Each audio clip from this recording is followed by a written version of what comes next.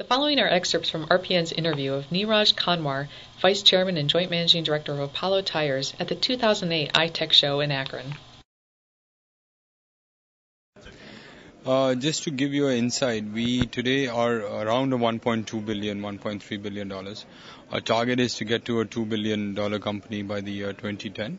So I've got two more years to cover up this uh, remainder of the revenues on the sales side really our greenfield projects are one in uh, in Chennai in Tamil Nadu, which is becoming the mini Detroit of uh, India. All your car manufacturers are coming there. All your multinational global car manufacturers are setting up their plants in uh, that that part of the world. Uh, so Apollo in its uh, strategy has decided to put up a greenfield over there, really catering to two sides. One is the passenger segment, which is on the small cars. We needed to come out with a tire which would make profit at the end of the day. And then the second side is going to be our truck radial expansion um, program. We see India today is at around 8 to 10 percent uh, commercial segment is radialized um, in in India. So catering, we being the market leaders in that commercial segment, we need to come out with a product suited for the Indian market.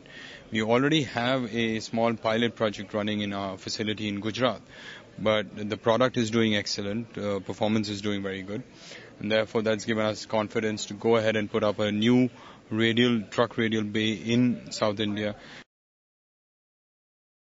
as far as Apollo is concerned, we've been growing at a CAGR of around 18% over the past six years.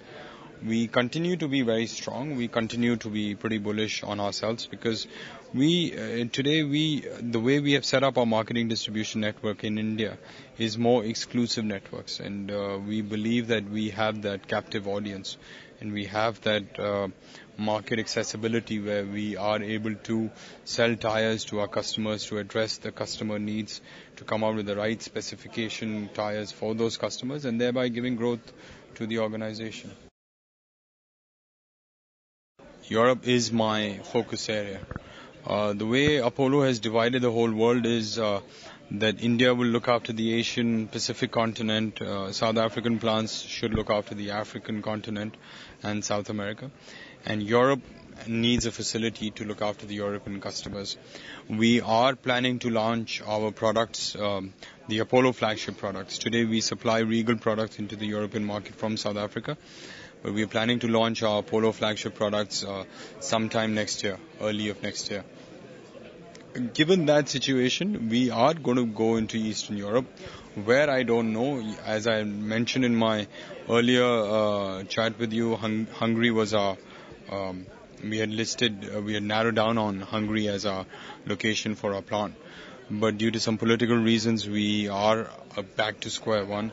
We're looking at pieces of land in in in Hungary and in Slovakia, and we'll be narrowing down on whatever site is suitable for Apollo. America is going to be my target after I am successful in Europe. I think it's a reality and we all have to live with it.